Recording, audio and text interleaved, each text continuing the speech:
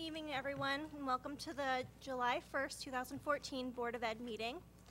Before this, uh, the board was in executive session at 6 o'clock to discuss potential litigation for the district, a a contractual matter, and an individual personnel issue. Um, Can we stand for the Pledge of Allegiance?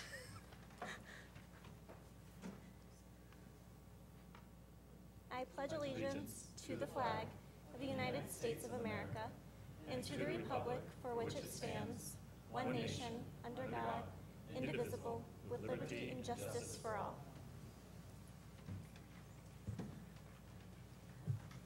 Do you want to do introductions? Joanne Cunningham, Christine Beck. Jody Monroe. Tom Douglas. Brittany Barrett. Michael Cooper. Matt Downey. Diane Stever. Charmaine Wijeyesinghe. And Judy Kehoe. I'd like to start off the meeting just by um, giving the oath of office to our three new board members. And I would like to start with Christine Beck. Raise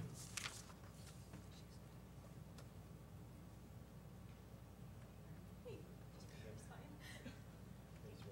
I do solemnly swear I do solemnly swear that I will support that I will support the Constitution the Constitution of the United States of America of the United States of America and the Constitution and the Constitution of the, of the State of New York, of the State of New York, and that I will faithfully discharge, and I will faithfully discharge, according to the best of my ability, according to the best of my ability, the duties of the office the duties of the office of member of the Board of Education. of member of the Board of Education. Doing it again? Joanne Cunningham? I do solemnly swear I do solemnly swear that I will support that I will support the Constitution the Constitution of the United States of America of the United States of America and the Constitution and the Constitution of the State of New York, of the State of New York, and that I will, fi- that I will faithfully discharge, that I will faithfully discharge, according to the best of my ability, according to the best of my ability, the duties of the office the duties of the office of member of the Board of Education. of member of Board of Education. Thank you. And last but not least, Matt. I do solemnly swear I do solemnly swear that I will support that I will support the Constitution the Constitution of the United States of America of the United States of America and the Constitution and the Constitution of the State of New York, of the State of New York, and that I will faithfully discharge, and that I will faithfully discharge, according to the best of my ability, according to the best of my ability, the duties of office the duties of office of the member of Board of as Education. a member of Board of Education.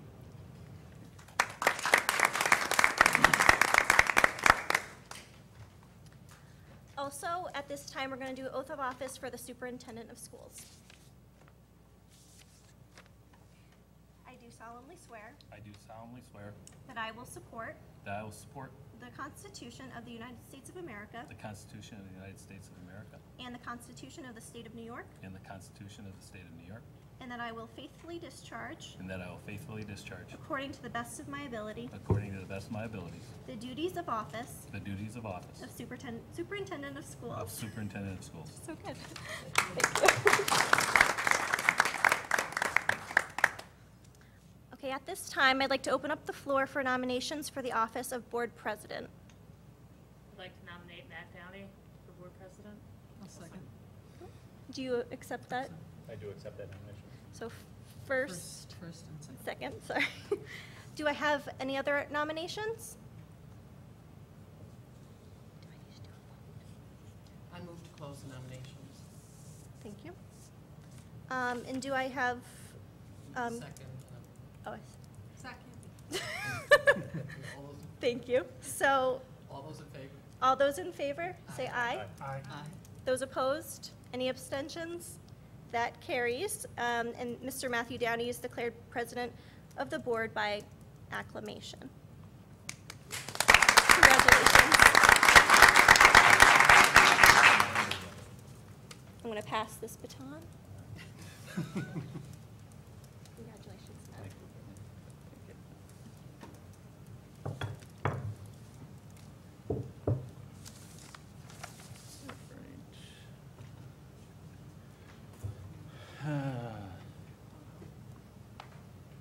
Thank you.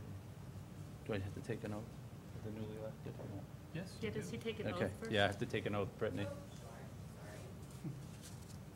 We want to make it official.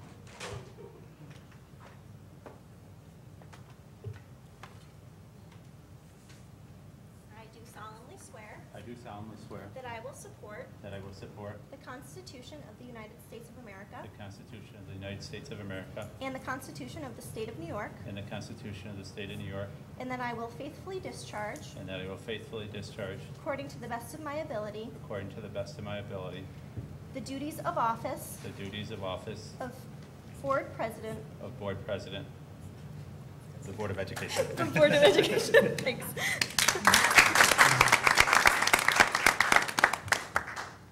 Okay. At this time, do we have uh, nominations for Vice President?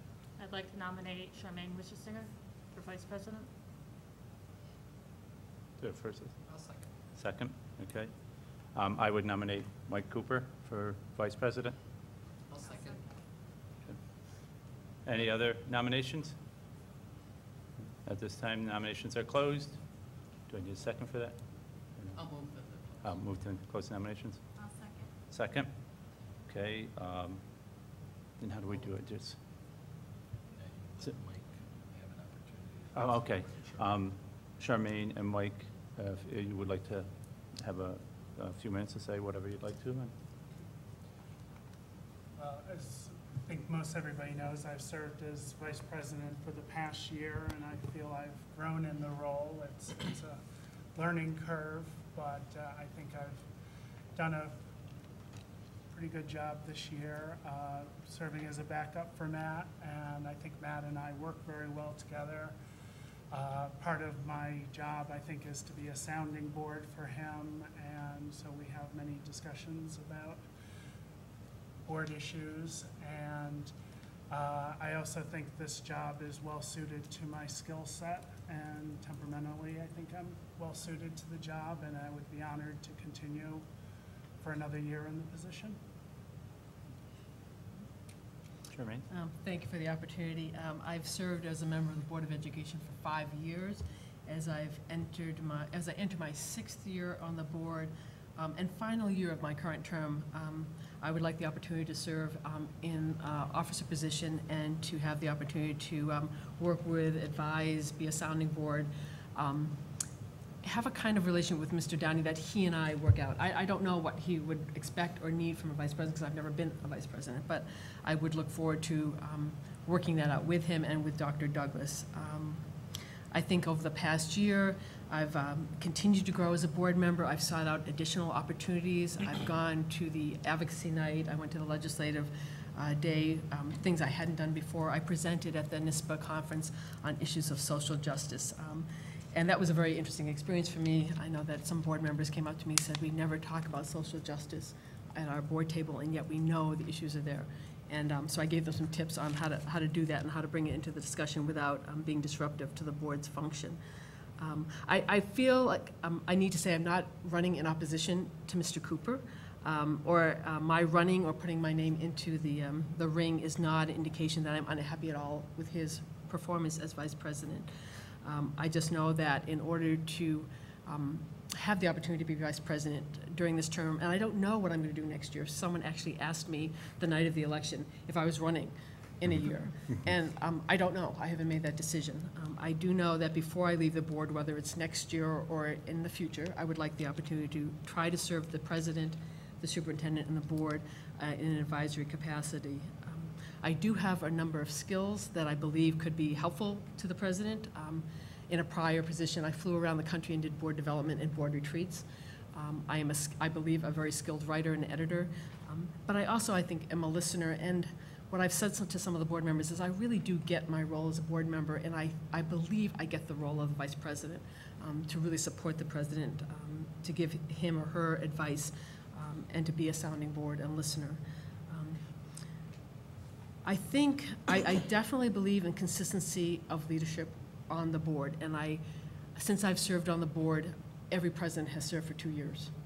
Um, And I think that's a great way to maintain um, leadership at the helm during trying and not so trying times.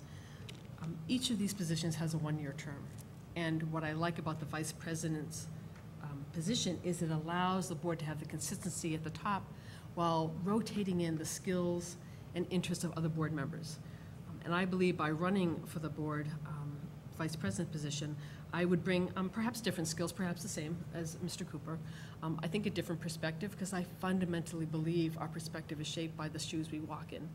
And I want, um, and the other thing I will say, and I, I'm taking a risk here, is I believe that the leadership position is a representative of our community and of the board. Um, And when the leadership stands, they're representing our community and our board. And this past year, we have had a certain representation up there.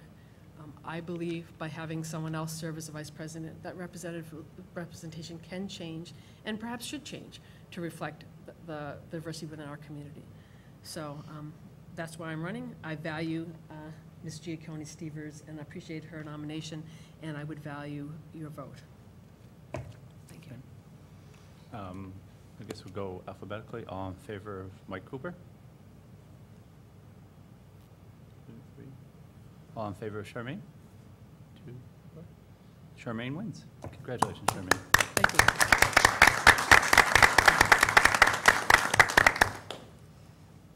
Um, Do I administer the oath, or do you administer the oath? She She administers the oath. She- Okay. Uh, Charmaine?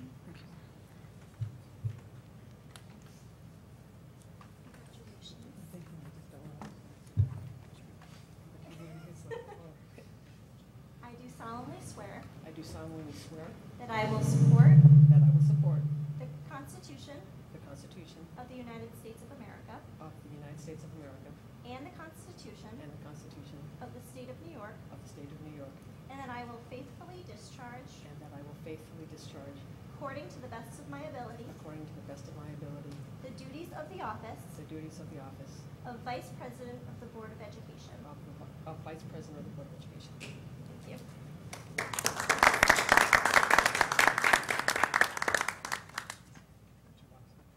Oh, I don't know, do we?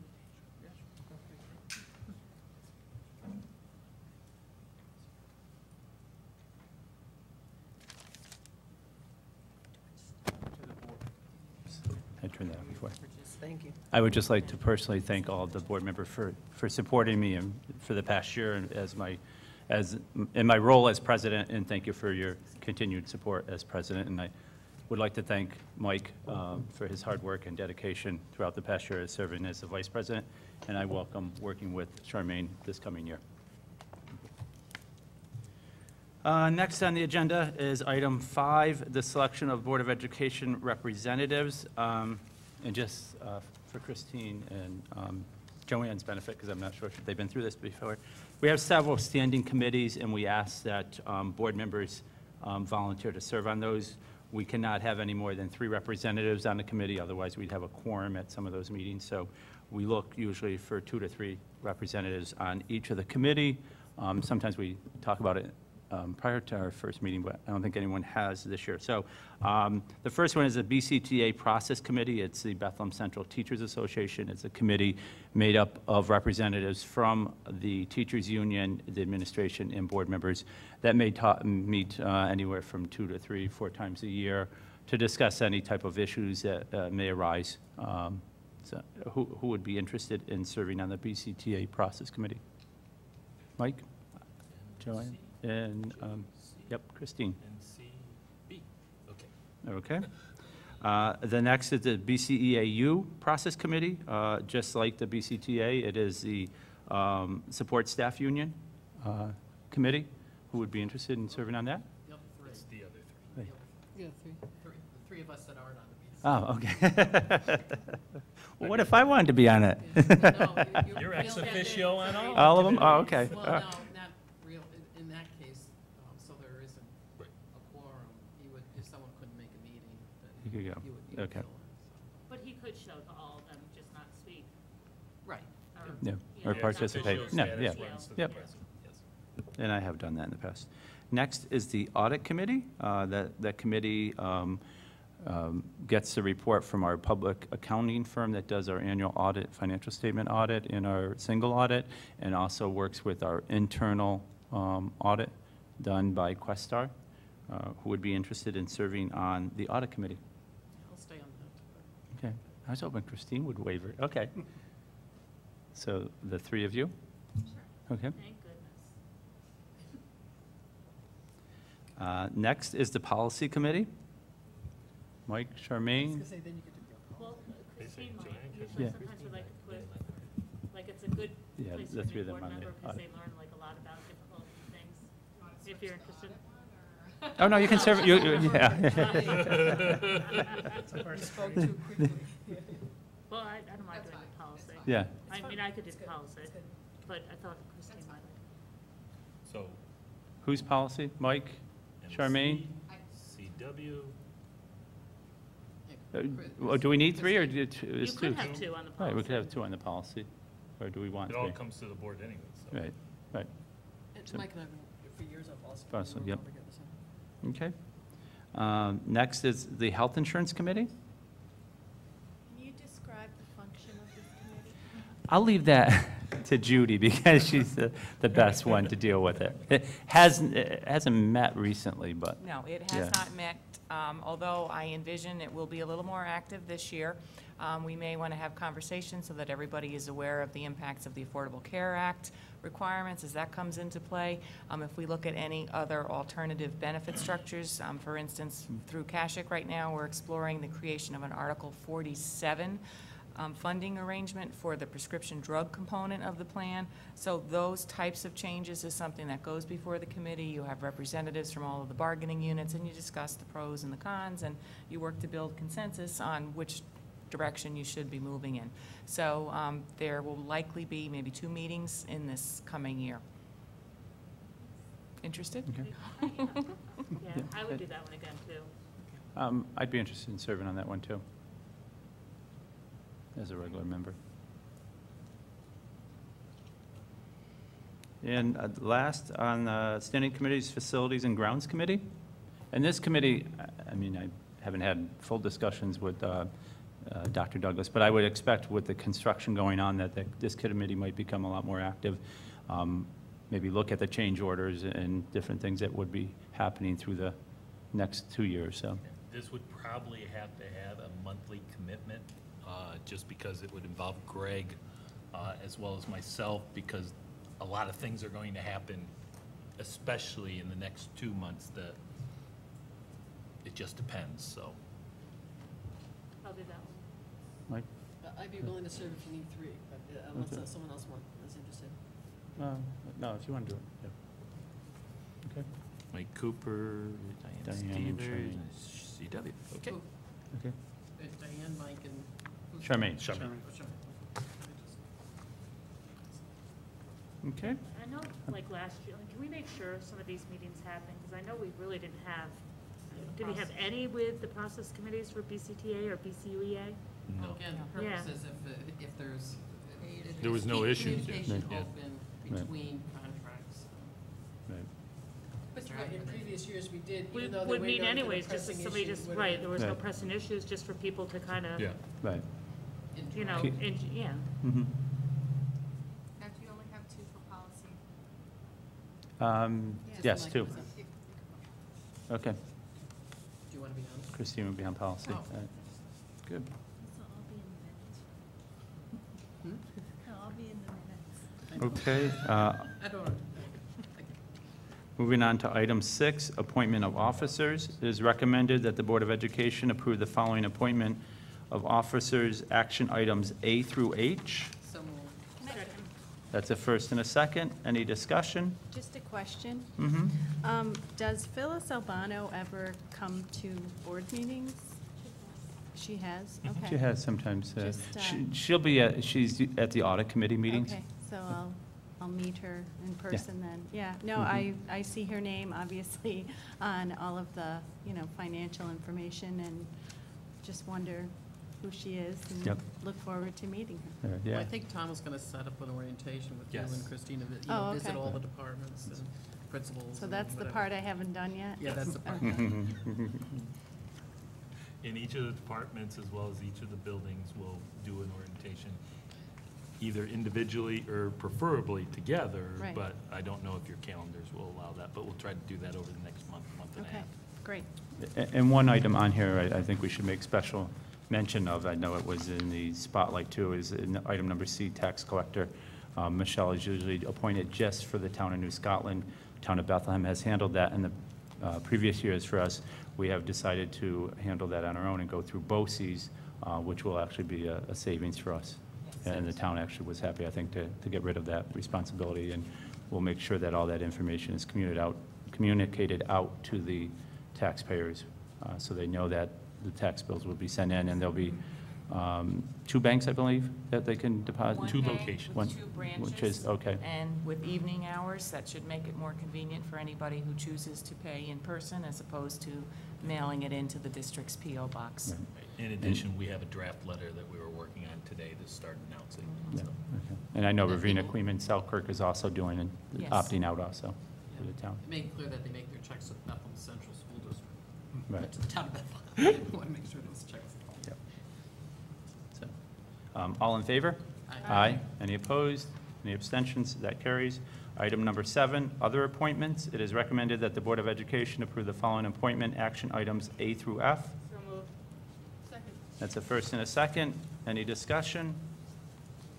Um, I do have one quick question on item B. I know we're appointing Sal, and we have for the past couple of years, Mhm. But previously, Ed, um, it had been the superintendent. Was there Yeah, a reason we? one of the, one of the things that we changed a couple of years ago, the superintendent can be ultimately the, the appeal to any hearing officer. And so what happens is you try to make sure there's a clear distinction between those two. So we have two Title IX compliance officers, one which will be male and one which will be female, and those will handle each um, situation independently as well as gender-specific. And then any questions also have an appeal process all the way up through the superintendent. Because one is listed as a coordinator and one is compliance officer. Well, that, that compliance officer uh, and coordinator, let me see. Because the compliance officer on 504 would be Kathy. Yeah. Right, And that's how it's listed. What I would say is Sal wouldn't have any section 504 coordination, so I'd, I'd say that's an error on our part if we can strike those three words at the end. So he would be a Title IX um, coordinator, and we'll strike the section 504. Okay.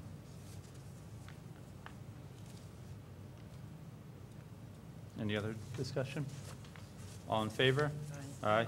Any opposed? Any abstentions? That carries. Item number eight, designation. It is recommended that the Board of Education approve the following designation action items A through C. So moved. Second? That's a first and a second. Any discussion? All in favor? Aye. Any opposed?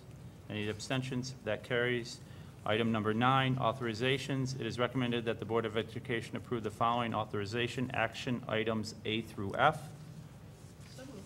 That's a first? Second. Second? Any discussion? All in favor? Aye. Any opposed? Any abstentions? That carries. Item number 10, bonding of personnel.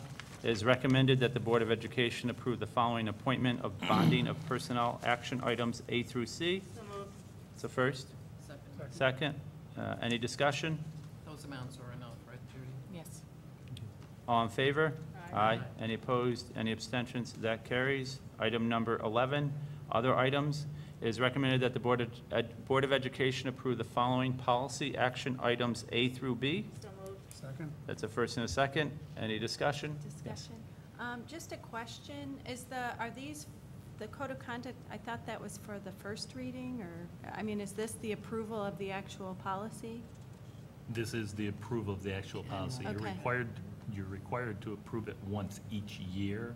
It doesn't mean that you can't make amendments or Okay. changes throughout the year. Okay, and I did note that there were some changes, although um, I assume everything is in there, and the reason it's so lengthy and ornate is because it's complying with either federal or state regs. Mostly with the and- state's Project Okay. Save legislation from, Okay. 10, 12 years ago or so?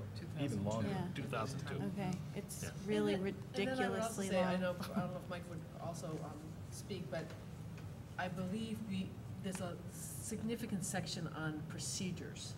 And I believe it gives students and parents, the reason there's so much detail is it gives people enough information to understand how things proceed, um, should there be a violation. Uh, so No, no, understood. It's not like anything in there you would argue Right, with right, it right. being in there. Because it's so ornate, it sort of covers the waterfront. But, you know, a code of conduct policy that's 31 pages long is pretty ornate. A lot of that is because of the Yeah. SAVE legislation and the regulations required by New York State. Yeah, okay.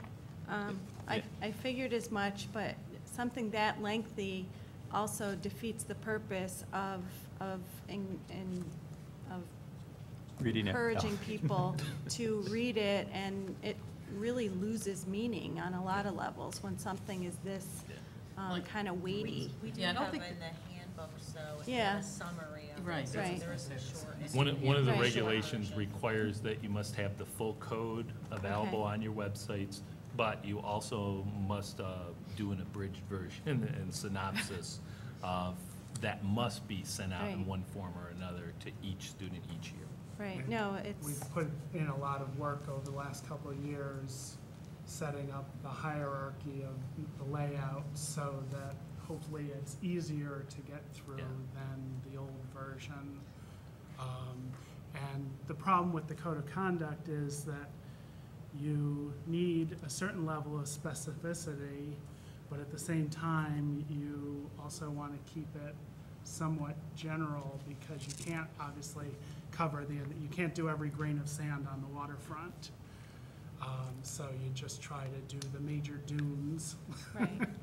And, and well, it's pretty, it's pretty inclusive of the waterfront. I You're making me want to go to the beach right now. No, it really is. I mean, it also does, I mean, it's an important document. There's a lot of stuff in here, a lot of very important um, Gives a lot of language, guidance. Lot of guidance, but I also think that um, probably the only people that will read it, maybe the audience today, because I'm pointing it out and ma- making such a big deal about it, but the only people that are ever going to read this are board members and maybe some administrators. Mhm. And it probably argues for for the abridged version being, having a lot more emphasis placed on that, because that's probably the, you know, going to be the hallmark of the code, code of conduct for the district, so. Well, the administrators really need the full version, so they're No, no, I- following, they're following it along. No, but- I- But I- for parents and for students. Yeah, no, I get it. Obviously, It's the abridged just- version. Most of them will only go to it once they're impacted by it and then try to search through it, yes. Correct me if I'm wrong, but there are certain sections with the A through Z that you can click on, and you might not get the full code of conduct, but you'll get little bits and pieces of it in On certain. the website? On the website. No, you I get think the on the whole code. website it co- pulls up the the whole whole thing thing. Okay, Yeah. no, very comprehensive. Yeah, Just and and I wa- believe, Wanted to know So a much little fun. bit about it. and that ha- has been reviewed by our attorneys too, right, I believe? Didn't you Uh, say, the initial onset, there's, there's nothing that's a major structural change. A lot of the changes in this is actually making it so it's more eye appealing, that it's an outline form, that you can flow through it much easier versus there was some duplication of language just Right. because the document kept growing. Uh, Right. if I there think had we been- shaved a page off If of there had been changes, we would have had to have Yeah. a public hearing at the beginning of this meeting. If Yeah. there had been actual Substance change. substantive What, what I might suggest for the policy committee is, oftentimes we don't start the review of the code till af, till we're almost on top of the meeting where we have to approve it. So if we perhaps, um, could push that forward a bit, I know we might be getting into budget time, but I know that we're always pressed, and I'm sure there'd be feedback, there's, I'm sure, st- still some duplication, some ways of tightening up, but it's hard to do that with one or two meetings when we're also reviewing other policies, so perhaps for next year, if we could move that up maybe even a month, I would suggest, so that we really, Yeah. even though there may not be significant substance changes, we're always gonna find something. Right. I, I just asked Brittany to put it on the calendar Right, for me. right. And, and I would just repeat again, you know, for, especially for our TV audience, if they need some interesting reading over the summer, the, the policy, whole policy manual, including the code of conduct, is on the website, so, you know, it is available to everyone to look at. There are students reading it, because I was on the Board of Examiners for the lab school, and we had an interesting discussion on s- search and seizure, and the student was quoting the code, um, and giving her perspective on what should or should not be allowed before the Supreme Court decision just came down. All right, any further discussion? All in favor? Aye. Any opposed? Any abstention? That carries. Item number 12, approval of minutes. Uh, The minutes of the June 18th, 2014 regular board meeting. So moved. That's a first and a second. Any discussion? All in favor? Aye. Aye. Any opposed? Any abstention? That carries. Item 13, Student Senate. I- Is there a Student Senate representative here tonight? I doubt it. Yeah. I don't think. They're not, be they're not here. yet. School's out. School's out. Lucky them.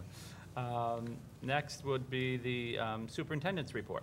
Uh, Thank you, President Downey. We have a, a couple things that we need to discuss, but first and foremost, I want to congratulate, uh, you know, our entire faculty and staff as the 2013-14 school year came to a close.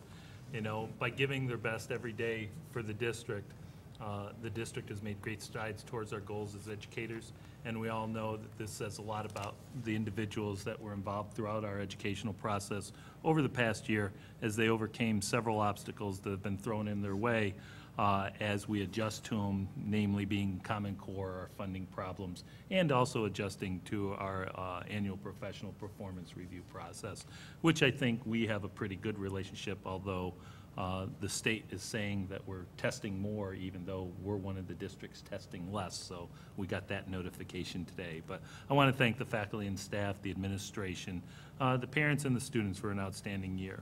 Uh, In related news, uh, just as uh, we came in on Thursday of last week in the Albany Business Review, which I don't understand a little, because they've just released the school report for 2014, naming Bethlehem Central School District as the capital region's number one school district in Albany County. Uh, This ranking is a direct result of the dedication and passion of each of our individuals uh, within the district as well as throughout the district as on behalf of our community.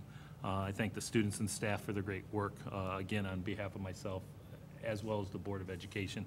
I think they really take the pride in, in these awards and uh, commendations from our community. The reason why I say I don't understand it is because for the past three years, we have been the number one in upstate in the capital region. But in the Albany Business Review, we've gone one, two, we've gone one, one, two, one, but yet they're run by the same company, so I don't understand that totally. So we're going to try to get that determination, but always being on top is one of the great things that we try to maintain, and I think everybody should be proud of that. Uh, One of the additional things is last Friday, we had graduation, obviously, we had beautiful weather, uh, and, you know, it was a wonderful way to celebrate the end of the year at SEFCU Center. Uh, And, you know, my congratulations to class 2014, not too many beach balls, wonderful speeches by the students, and we had all, all in all, a generally great graduation evening uh, for everyone to enjoy, as well as the aftermath of it. Um, Also, tonight, although you're going to hear a presentation by Mr. Nolte, a little about our operations maintenance updates with the capital project. The capital project is officially underway. Um, You know, everybody's starting to see that there's going to be a, a great deal of adjustment over the summer, but we'll wait for that. So we want the board to be aware as we start to gear up, because there will be a lot of happenings over the next two months. Uh, In regards to one of the things that the board has been talking about over the past several months is our Chinese program. One of the things that we've been doing during my report is updating that we have been going through the search process. We've had our application, we had roughly 13 individuals that applied for the job, and we've gone through that process to the point we were hopefully culminating uh, at this week, point in time, roughly about a week before the July 15th deadline that we impose. So I want to turn it over to Ms. Monroe at this point, just to update the board where we are at as we need some direction from the board. So, um, as Dr. Douglas indicated, we, we started our search process. We did advertise the position as a 1.0 um, to see if that would uh, be more attractive. We did interviews. There was a committee interview that interviewed, I believe, uh, six individuals. One, uh, then we brought some other individuals back for teaching interviews. That's our process we typically do. Um, And unfortunately, none of those candidates, we had one um, we thought perhaps would be moving forward. Um, However, at this point, we have no um, teacher that we would recommend uh, for the Chinese position in the district.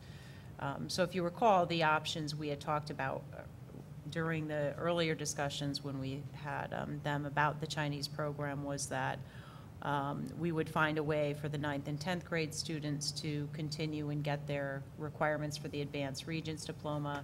However, if we did not have a teacher, uh, we would recommend that the middle school students switch to an alternative language. We have an accelerated Spanish program um, that we would recommend students go into. However, if they want to go into French, certainly we would help them and provide them with supporting materials. Um, But that's where we stand currently. So um, the other option, or the other discussion we had with the middle school is, is an online option viable?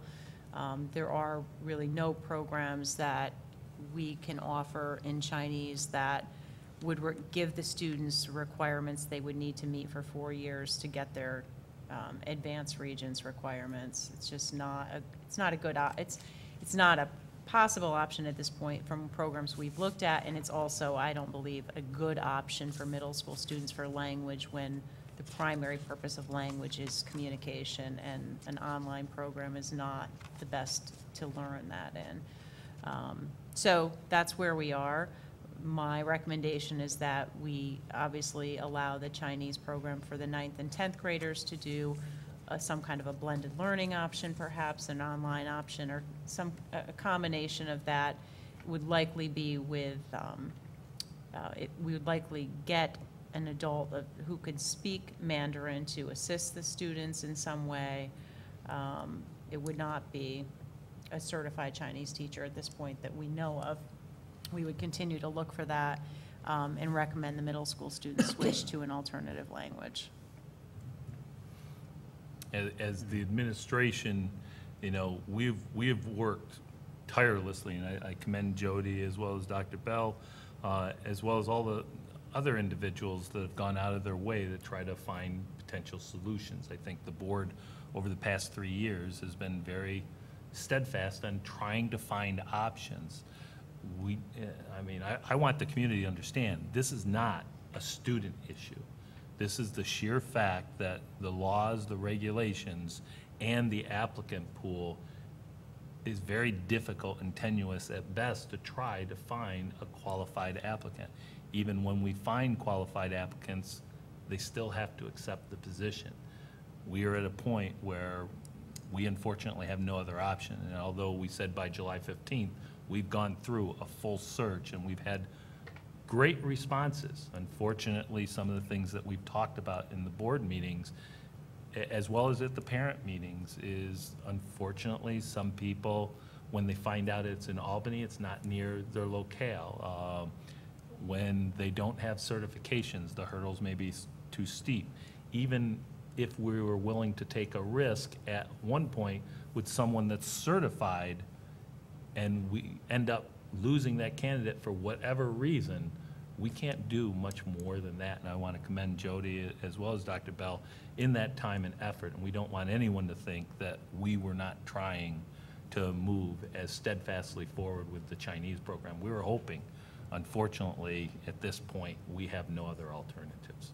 And I would add, it, not just this year, um, but uh, Dr. Bell and the teachers who have interviewed administrators over the past many years, um, hiring for a Chinese teacher has been uh, very difficult, but we've spent a lot of time trying to recruit people, trying to maintain teachers, more so than any, I mean, you know, I oversee all of the hiring for different departments, and I can say that we've spent more time on this particular one area than any other area in the Yeah. past five, six years. So at this point, basically, from my assistant superintendent for curriculum and instruction to myself, as well as our administrative team, we need final direction from the board. Our recommendation is, is that we proceed with the phase-out. In the future, if the supply of teachers, not students, is there, we would be confident to come back. But at this point, unfortunately, we do not find a viable supply for the capital region. Jody, if we did a, an online option at the high school, what are the costs looking like? There's a few different um, programs we've looked at. They um, usually are a per that, right now, they're listed as a per pupil expense. However, if we did, um, we may be able to negotiate the price. There's also uh, one of the programs we're looking at, which is probably one of the most viable. Um, You can purchase it either with or without a certified teacher as part of that. We would likely um, purchase it as, with a certified teacher. That way, if we have, if we're able to get someone on site who is, can, is able to speak Mandarin but is not certified, we have that certification um, covered. So that, those are the factors that play into it. I, I'd say I found them anywhere from $100 per student to $300 per student. Some are by semester, some are by a length of a year, so it really varies. Um, But they're, they're not, um, they're not astronomical. I support your recommendation, and I just, I just hope some of our higher institutions of learning are, you know, taking note that maybe they should be encouraging their students to uh, major in Chinese so that there is a pool of teachers, because I know there are a lot of other districts who are looking for Chinese teachers also. And obviously, if you're down closer to the city, people have a better chance of finding somebody. Um, But I just hope that, that that occurs so that we can have it again in the future. I, I agree, I would um, accept your recommendation too, and I'm, I'm just, I guess as a wonder, and I know that sometimes, like, we do professional development, or sometimes um, teachers get stipends, if there's a way down the road, like our um, foreign language teachers could actually take some Chinese course- courses and, you know, do a certified, if we could help pay that source, or some type of help, you know, just kind of throwing it out there. Sure. I guess there's not really an option B. It's just sort of, we don't really have candidates. I mean, we have to plan for next year, and, I mean, it- that's why we looked at the July 15th date. Uh, you know, I was really, really hopeful, and I'm an optimist, so I was just so um, looking forward to a positive outcome to this, and, and I really am disappointed, and I know, Jody, you have tried very hard personally and put a lot into this effort. I do want folks to know that um, the board was there, the administration was there, and if somebody had popped up through this process, um, and it looked like there were some promising folks who at the end, you know, one individual, actually, the most promising individual, ended up withdrawing. Um, and I think that's important for people to know that, you know, there was a lifting of heaven and earth to get this done. And I really appreciate that. I do hope that we are a leader academically in this region, in the state. I do hope that we as a board recommit to the idea at some point in the future when there's clear, you know, or we are sensing there may be demand or a supply out there um, to revisit this because, um, you know, many, many of the comments, and we all heard them during the, you know, past few months about Chinese, that, you know, students came up and talked to the board and were very, very compelling and, and um, many, many parents. And I really, really appreciated many of the comments, and I know we all did, about the fact that Chinese really does put us on the map um, academically, and it does make us a leader, and it gives us an edge, and it gives us a little bit um, of cachet in, you know, other respects. So I hope we as a board at some point will roll up our sleeves again and try and figure out how we bring this back to Bethlehem. I support your recommendation because I honestly don't see any alternative.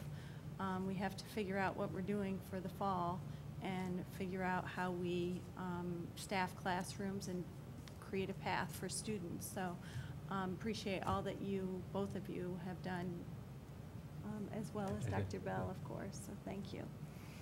A- And I would reiterate all of what Joanna said, and, and it was Dr. Bell who had come back, come to the board uh, encouraging us to institute the Chinese program and wanted to be a leader in the district and in the capital district, and, you know, has put every effort um, she has and the administration has, and And, and like Joanne, I was very hopeful, very hopeful that we would be able to continue on, but, uh, you know, they had advertised widely, had received applications, and uh, unfortunately, it, it- it's got to the point where we don't have an option again other than the online course, which is very unfortunate.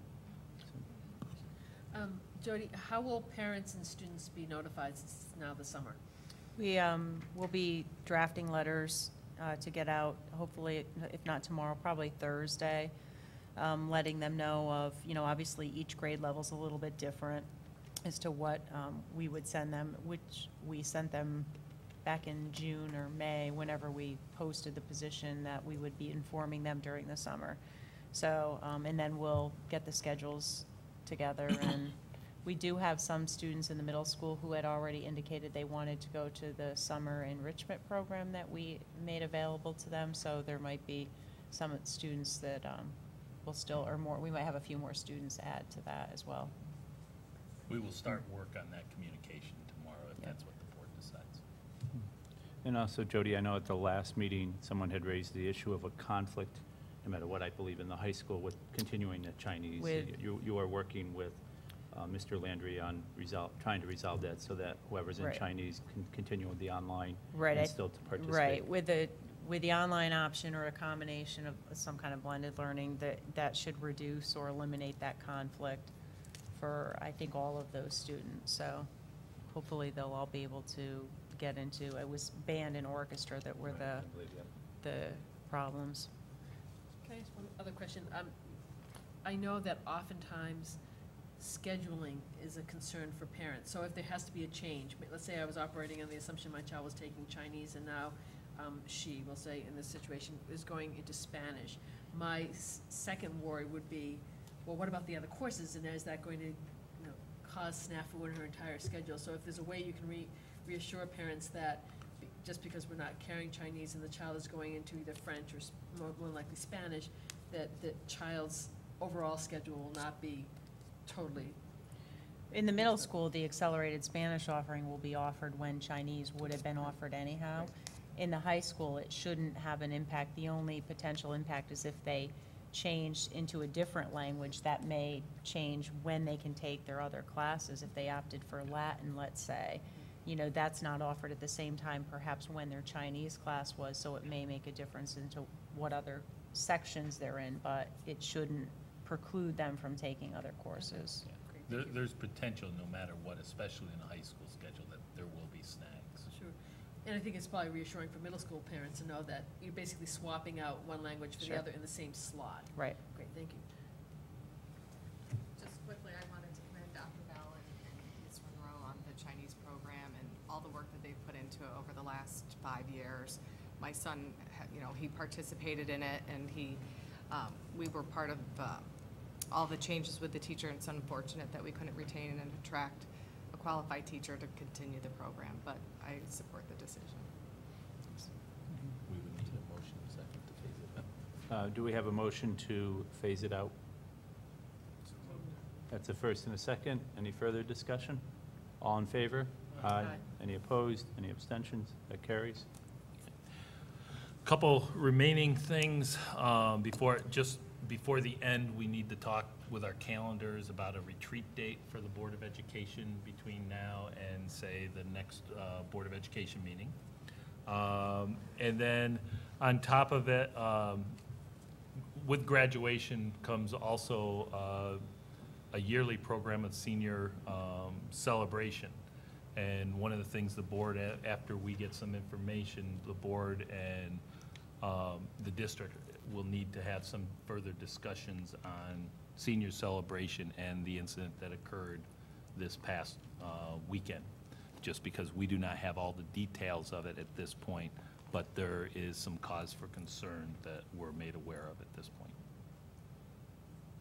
Other than that,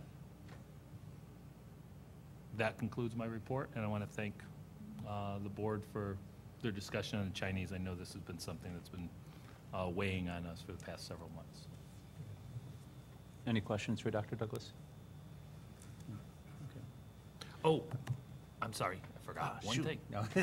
I know, I know, but I also, there isn't really a place in this. Tonight, we have a couple representatives from the Bethlehem Center, Central Community Foundation. I know they wanted to present something to the board, so uh, if we can give them just a couple minutes real quick, it's not on. It was. It was? It was, it was in the updates. It's in the updates, but I don't know, is the donation in? Accept the donation. Accept Yeah, the donation. Yeah, you're going to approve it, but they wanted to just talk to the board real quick, Yeah, okay. because it would be way after Greg's Yeah. presentation.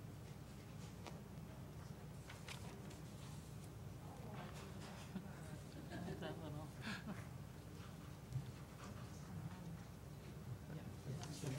Sure. Oh, it's a We have come here with our big check, and our big check is to award uh, $10,066 to uh, the district in support of the Classroom Innovation Grant Program. And the Classroom Innovation Grant Program is where faculty and staff can apply to the BCCF for uh, special initiatives to enhance learning within our schools. And we were very pleased to receive many wonderful applications this year and awarded 16 grants. And the total amount of that grant is 10066 and 96 cents. So we're very pleased to award that tonight. Names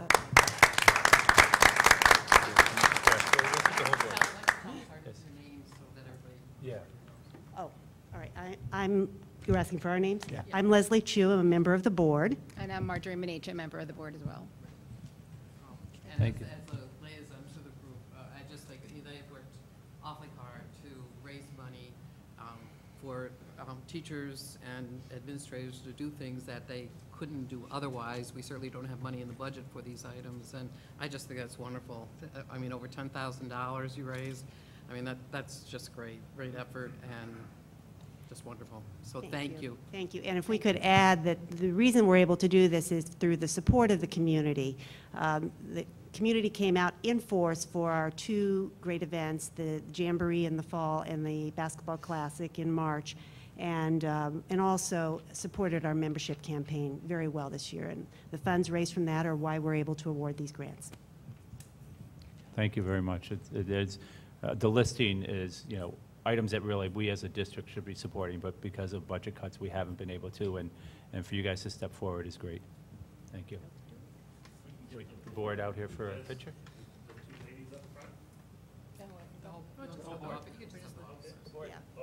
Whatever you want. So uh, be behind. What do we step over? I'm dressed down too, so.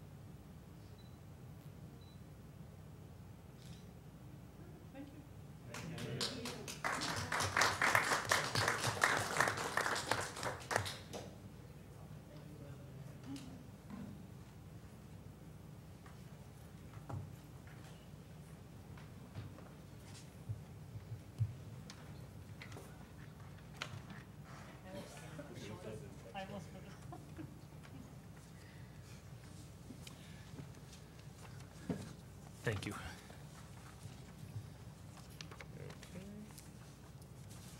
So, board So you're done? Yep. Okay. Next is Board of Education report. Um, uh, As Dr. Douglas had said, we had graduation last Friday night. Uh, I think it went very well, other than my throat getting a big cough in it. But, um, and also, we had the moving up ceremony Thursday morning for the eighth graders. I, I think it was wonderful. I- uh, The place was packed with the parents and grandparents and, and siblings, and um, uh, I think it's well appreciated by, um, by all of them. And uh, congratulations to the eighth graders as they move up to become freshmen here at the high school or move on wherever they're going. Uh, I, like I said in my speech, I encourage them to participate in all the various activities we have Uh, You know, we have, we offer them so many opportunities, and I hope they take advantage of those. And again, congratulations to the class of 2014 as they graduate. And the lab school celebration also was. Yes, Yep. yep. I I wasn't able to attend that one, but yep. Christine was there too. It was record-setting in time. But it's, it's, it's, yeah, it, it is a nice, the group is very intimate and, um, Very emotional, and uh, the kids really enjoy getting their, their speeches, so, graduating seniors. Anyone else on anything? Mike? I just wanted to personally s- congratulate Charmaine on her election, and I'm sure you'll do a great job. And if there's anything I can help you do in terms of getting acclimated, please let me know. Thank you. Uh, Before the party at the lab school, they had to sit before the Board of Examiners. Um, I did do that for one day and appreciated the students, um, all the effort they put into their, uh, both papers and presentations, and the faculty uh, involvement, and it was, um, it's a wonderful opportunity to involve the community in that particular program and in the school district, so um, appreciated that opportunity. Just Yeah, little Joanne. Um, There's a great article on Sunday's New York Times in the review section called uh, Why Teenagers Act Crazy. And it is required reading for anybody who is a parent or serves on a board. Um, It's basically, it, it walks you through the different parts of the brain development for teenagers and what parts are, um, are sort of lagging in their development or, or a little nascent in their development and why that leads to certain kinds of behaviors and so forth. Required reading, really, really fascinating. Would you say New York Times? Yeah, it's it Sunday? Sunday's New York Times, the review section, Sorry. but if you Okay. just look on their website, It's on the website. it's on the website quite and. Okay. Oh, Yeah. good. Anyone else? Just uh, the eighth grade graduation ceremony was a nice ceremony. Um, Mr. Klugman did a nice job with the moving up speech to the eighth graders, and Mr. Landrio also spoke to them about moving up to the high school, and uh, I think they enjoyed it, and the kids were acknowledged for their accomplishments. it's just a little too hot. Yeah. I didn't think it was as bad as it could have been. I don't know. Being in a tie and a jacket, it was hot, but. um, And one other thing I'd like to mention too is, um, we, we always are, you know, told we should be um, um, collaborating with other municipal entities and whatnot. And one thing we're going to be doing um, this coming fall is normally we take a um, tax anticipation note and we go to a lender and borrow it. We are going to actually be going to the town, and the town is going to be lending us money at a cheaper rate than we would be getting through a bank. So it- it, we're, they're going to earn some revenue higher than they would if they put it in a savings account, and we'll be getting a cheaper rate than if we borrowed the money from a bank, so. I was Glad to hear that. Of course, uh, um, everybody should understand that each department over there is allowed like even up to a twenty percent fund balance, whereas we're allowed four percent. So they probably We could have give a loans rule. Just too. think of the good thing, I was trying to make. But I, I do But I think appreciate the. this is great, Right, I think, it- again, it's a. It's a win-win. Win-win, and, and maybe it's something we can use towards the future of where we're, have that tax freeze, and you're supposed to show um, savings and cooperation and Yes. whatnot. I, I hope it Yeah. will be something that we can, um, We can use show for. um, use- use It's amazing, is we're still proof. waiting for what that tax plan They don't is know yet. supposed to be. They don't, they're- but It is I, I know that. subject to approval from the Office of the State Comptroller, but it's a fairly nicely laid-out proposal for them, so we're not anticipating any problems with that. So I expect you might see it becoming used more frequently by other entities. Right. Because with our, our fiscal year starting today, we don't see the revenue, the tax collections don't come Right. into September, so there's always that cash flow issue. Right. Anyone else for anything? Okay, moving on. Next, we have our presentation by Greg Nolte um, on operations and maintenance update, the uh, bond construction. And if anyone hasn't driven down Van Dyke, you need to, because there is, the the football field is no longer. Um, But huge, huge mounds of dirt, and uh, um, the end result will be well worth it. I know they'll be, uh, you know, not being able to use that facility for the coming year, but uh, the end product, I think, we'll be very happy with. Well, um, happy summer. Um, Unfortunately, my uh, two-month vacation was disapproved by uh, Ms. Kehoe, so I'm going to be here. Uh, um, As Dr. Douglas said, uh, we are full steam ahead uh, with the construction, uh, both inside and out. Um, A lot is planned for this summer, a summer that actually is probably one of our shortest summers in many, many years. Um, But um, tonight is not necessarily a a nice fancy presentation. We'll do that next time, we'll show you pictures of all that's kind of going on, but this is more of a discussion about a couple things. So um, I'm going to start off with the good news, okay? Um, The high school pool uh, update. Um, This was the $100,000 capital outlay um, that uh, you approved and the taxpayers approved um, this uh, 13, 14 year. Um, This was basically rebuilding the structural columns in the pool area. Um, They, uh, basically, the concrete footings have been poured, tiles around it. Um, Finishes are starting to happen. Um, Painting is substantially done. Um, As you may recall, we received a very favorable bid of about $37,000. Um, We actually worked with SED to say, hey, how can we maximize and, and do more? Because we have this $100,000, so we can maximize the money that we have and the aid that we're going to get next year. So basically, they, they indicated that we could do some more painting of the trusses and of the ceiling, which was actually designated as part of some of the main work that we wanted to do in, in- that, uh, in that area. So um, we actually have negotiated, um, both uh, Campus, our construction manager, and our architect negotiated a, a change order uh, with uh, Bunkoff, who is our, our contractor on the job, uh, for about $43,000 uh, to do that painting work. Um, And then we also had another change order, a small change order for about $5,000 uh, because of some added uh, concrete work that we um, encountered as we dug down uh, to the existing footings um, that weren't exactly what the drawings uh, showed from probably back in the, uh, the 60s or so. So uh, basically, in all, the project is, is under budget um, and is just about complete. It's really an amazing transformation. Uh, You don't want to go in now because you still have a lot of paint odors in there that are getting basically sucked out, but it's going to be, it's going to be just a tremendous uh, transformation. Um, The 14-15 capital outlay, which, which I'm calling Phase Two in the pool, is already being, uh, starting, uh, starting to be designed uh, by the architect. And um, we'll let you know, and we'll, we'll keep you updated as far as that goes. So Greg, on that, there's two change orders generally for last year to complete the capital outlay that had to be turned around rather quickly. Let's Correct. Yes. Actually, I'm going to say three. There's, there's one, another one for 900 or $1,000 for um, one other item, which is being, um, Scott, do you know?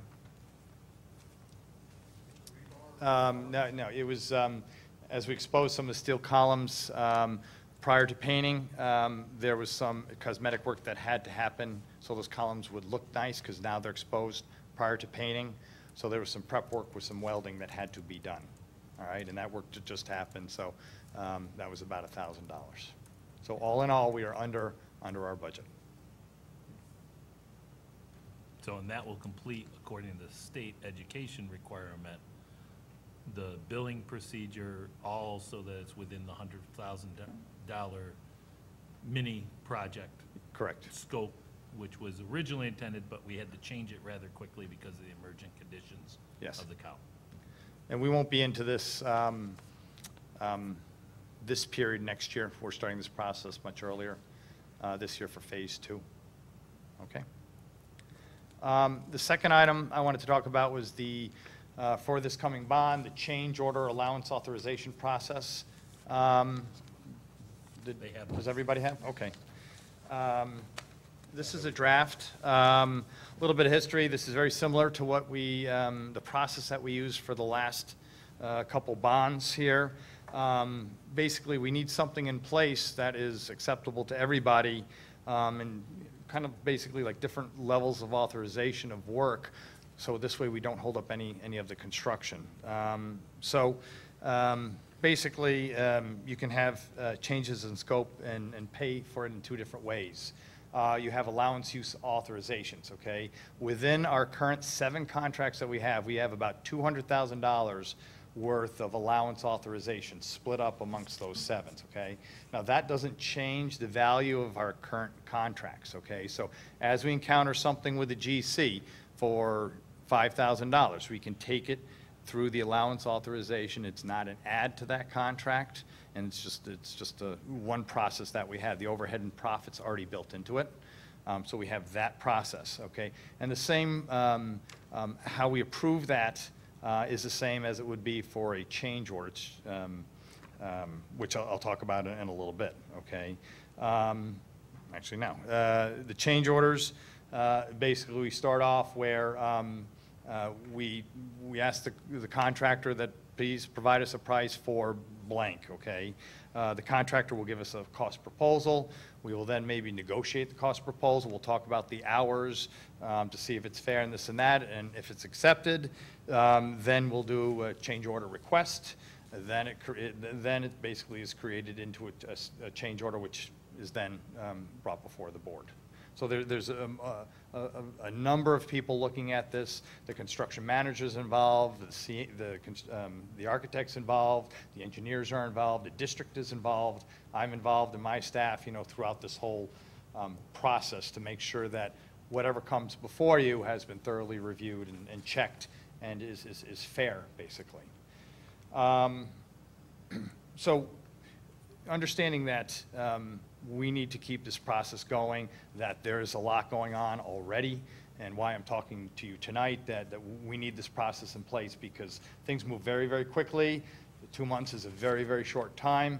I I think what also has hurt us um, this year is the late approval from SED, because a lot of this coordination with all of these trades and, and, and and the contractors really diving into the drawings and saying, well, we can't do it this way, we have to do it that way. Um, It's, it's, we've, we've struggled in the past month to really get everything going, so basically, we can complete as much work as possible this summertime. So um, what I've also outlined here is the different levels of pre-authorization. Again, everything will come before the board, um, but these levels um, is, is similar to what, uh, is, is exactly what we had on the last project, okay? Feel free to stop me. Greg, I would just have one question. On the, um, the third level up, the 20 to 29.9, um, I would probably recommend you also have the chief business and financial officer on that. I have that too, so it's a Yeah, stepping. Just, uh, yeah, because we want Judy to be aware of any financial impact on anything. before I, and I would say, by having that stepping level, uh, it, it helps to create oversight and accountability. But I'd also add, I know Judy and I have talked about this, that at uh, Greg's level, that there's also a cumulative total, that we have to add that, you know, between zero and nine ninety, nine nine nine, yeah, that's understandable, but if you have hundred change orders for nine ninety-nine, and Greg approves them all, there's no control. So we want to put in, um, some type of cumulative, I don't, know what that amount should be. I would say up to a hundred thousand would be my first initial guess, because I'm hoping we're not going to be having like ten different change orders for ten thousand dollars apiece. Scott, does that make relative sense? And talking to Mr. Boris, who is our uh, project manager for campus construction. That's fine. The thing is, do allow mutual respect. Uh, Never respect the Yeah. project. That's the kind of- Uh, no, we're we're under right now, but I know Greg's going to give some information. And I the budget very regularly. I, update it every week. Sometimes every day, something happens. And we're using a whole process where we have an encumbrance in place for the value of the contract. As we're paying the balances, we're reducing the encumbrance, we're showing the retainage that's payable on that. So there are multiple checks and balances on the whole progress of the jobs with the variety of contracts. And I, and I, I can basically say, if anything gets to my level, it's going to be because it has to be an emergent condition, otherwise it's coming to the board. I mean, Right, and, and the other thing is, if something happens during the summer, I mean, we could always have emergency board Right. meeting. I mean, we only need four board members with Right. the approval, so. And that's where I think the facility and grounds committee could help out, like, even during the summer, it, depending, I can't remember. Well, you need four. If, if people are available, which all of you are for a quick meeting in the morning, say every two weeks or something, that might be something that will help Greg and myself uh, with some of those discussions before we even get to the board stage too. Yeah, we are tracking costs um, daily, hourly. Um, It's just a matter of um, how much uh, and how frequently we report uh, to the board. And um, do you want five change orders um, every two weeks or 10, 10 change orders once a month, you know? I think a lot of it, a lot of it's going to happen during the summertime. Um, I I am very optimistic about the lack of change orders we're going to have. I was hoping you were going to say, or none at all. Um, I don't know how the rest of the board, I would rather have them as they occur, so every, every meeting, if there's change orders. Okay. I think we should see them. Yeah, I I That's how think we've that's the done it. best way. Are you gonna have an aggregate total though? Oh, I think the aggregate total, I think at each level should be no more than a hundred thousand. Uh, I can just tell you, at the third level, it's a hundred thousand, but it- unless it's an emergent condition, nothing's changing until the board approves it. I just, I don't feel comfortable sitting there and taking up to thirty thousand dollars and saying, go ahead. And I, s- I just don't see us getting to that aggregate level between meetings. Yeah, I mean. Uh, I just think you should have a safety net that says, there's a break here. It might be a, sort of a day where all of a sudden fifteen change orders come in, and they want to move, guys, we can't do that. I mean, that's usually in very large projects, even though this is probably a, a small to mid-sized project for a district this size. I just think it's better to have it in writing in our process that we have a safety net there that looks out after the district's best interest too. Because we don't want people to feel like rubber stamps, but we also have to be able to work and get the best price. And sometimes by being able to make the decision and move at that point, you could potentially get a better price. And again, we know everything in the pipeline. It's not, we're not going to be surprised that one day we're going to get 15 change orders. We're going to know that those 15 change orders are being developed and and that type of stuff, so. What I'll, what I would also add is I'll ask Greg, any change order immediately goes on to that week's update. So at least you know what's going. On. And just on the, the back page, um, what we'll do, just, just to keep track of everything, um, is uh, by contract, um, we'll give you summaries of, of the general condition, uh, general contractors and uh, what we started with and how many change orders you've already approved, how many are pending, what we're looking for for action, um, and, and give you a, a brief uh, blurb as far as um, uh, what we're looking for for the change order that, that uh, we're looking for action on. So very similar to the process for those of you that were uh, around for the previous bond. Okay, do we need to vote on this? Can I just ask one more question, actually? So, do all of the, what's the reporting back to SED on all of these? Do you have to do that annually, or, I mean, how does that work? Um, We, any change order um, that we create, we had actually as a, a- an SED certification Right. uh, that Dr. Douglas has to sign. Okay. Uh, They all get submitted to SED. I'm not going to say that SED loses them. At least um, once. But we make sure that we, we, we uh, we carefully track anything that is submitted. And of course, at the end is when we submit our, our financial reports, which uh, Judy is heavily Right, So you don't have to wait for anything to happen once you do that from them? SED takes a while to approve the change order. Once they can get it, we can go online and see when they log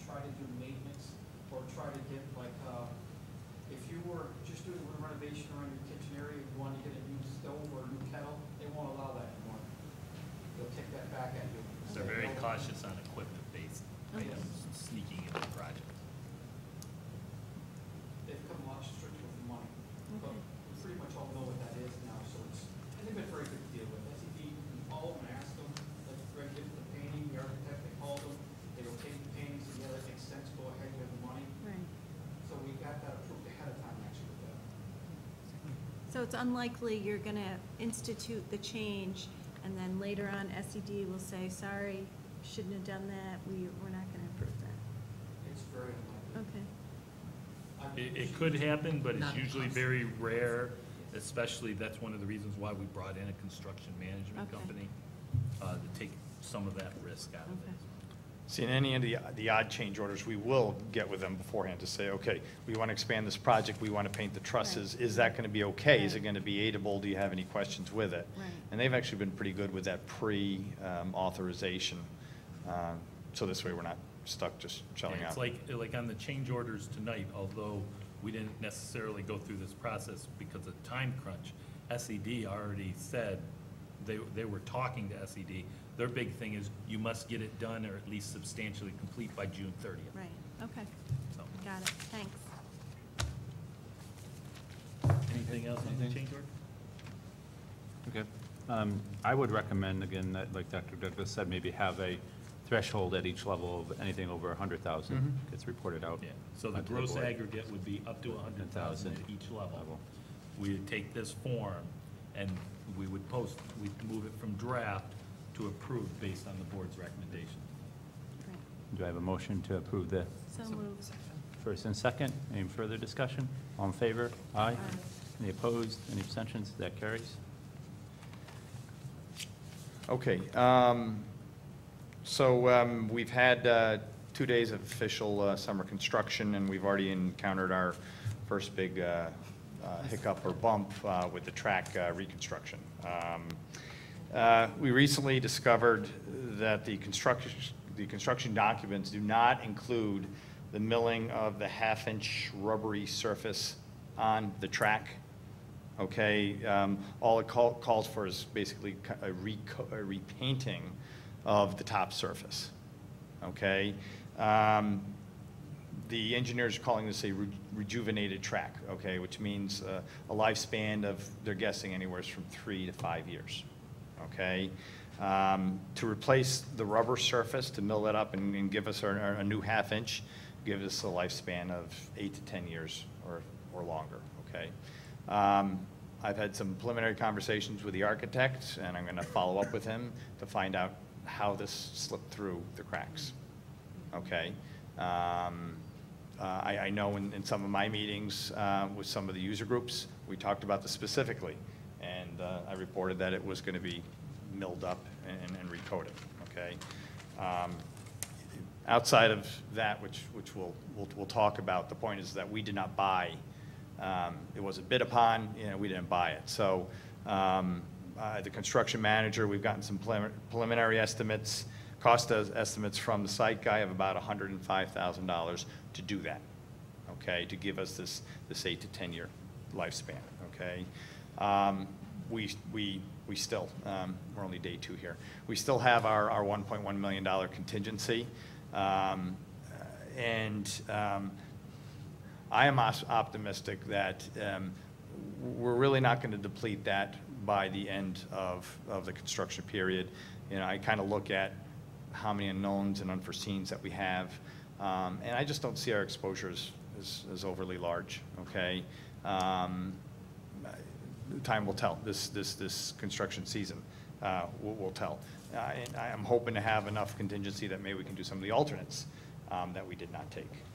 Okay, so um, I wanted to make you aware of this, answer any questions, get direction, because uh, unfortunately, you know, here we are, July 1, our summer is, you know, fast upon, upon us here. And, um, you know, this is a a very large pickle for us uh, if we want to get the track done. Are you checking other things to make sure everything else is in line? Because that's kind that that wasn't picked up. Well, we had um, 90 projects that were approved by the voters, and of those, you know, everything had components to it. So um, we'll have a, we have a meeting tomorrow at 1 o'clock. Uh, We're going to talk about this more. Um, You know, I'm, I'm upset that I was told, you know, and that I expressed that to, to uh, um, various people I met with. Um, uh, it happens, I, you know, we had so much oversight and observation uh, pre-bid, you know, we, we looked at these drawings, and uh, it happened, okay? So um, the point is, outside of the blame, what do we want to do as, as a district? And, and, and um, do we want to just go with the rejuvenated track, or, you know, do we want to move forward and, and, and, and and put in a, a new, a new track? And have to replace it in three years, doesn't make sense. I mean, I think What- we need to do the ten, whatever, for t- the One ten-year of- track. One of the things Greg forgot to mention, um, and this just happens because he's had that conversation with me tonight. I, I will tell the board, I remember asking the same question during a board meeting because it was presented at that time. I, I think Greg presented that it was a refurbishment of the track, and I re, I recall it because Pete DeVries was sitting right over there, and I said, no, what we said, it was a remilling and resurfacing of the track to the point, Ashley was here as well, I think Scott, I think you were here, I'm not sure, but they had to go back and check into that. So I'm a little miffed at this. The good part is, and just so that you know, there is a silver lining that I think Greg forgot to mention, is that through our work in our projects and what Greg put out as alternates, which are not part of the project yet, that's hopefully part of the contingency, which he has a good estimate that we may not use that. I'm here to tell you that tonight, officially, this budget is 89, I think it's 89 to 92,000 dollars under budget. So that's not even touching the contingency yet. So we have ninety-two thousand dollars because of our work with the roofer, because of our work with, I think, the Plumber. plumber, that this project right now, with all signed contracts, all signed, uh, I think that would be a change order that I have to do for a million dollar We have credit. now, yeah. Back, that will be at our next board meeting. But that brings this project, except for our alternates, under budget. Uh, That of this 104, 92,000 is already accounted for in the budget. So we would have to look at the contingency for about $12,000. Uh, So I don't want the board to panic, but that was one of the discussions we had today, because that's not how we- we proposed it, and that's not how we look at it, but we have to deal with it. So even though it's bad news, we also have some of the news covered because of the fact that we were trying to make sure that we brought this project in. Now, our alternates, we have, I think, about six hundred and twenty thousand dollars in alternates. We're hoping that we do not touch the contingency by about five hundred thousand at, at the most, because then we could virtually put into place those alternates.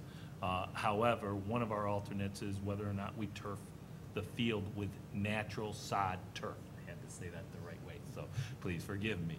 Uh, Because right now, we have it priced to seed. So each one of those becomes a priority item that we'll have to talk with the Facilities and Grounds Condition Committee on that, because we sort of already have put into a general priority order right now from our discussions as money becomes available.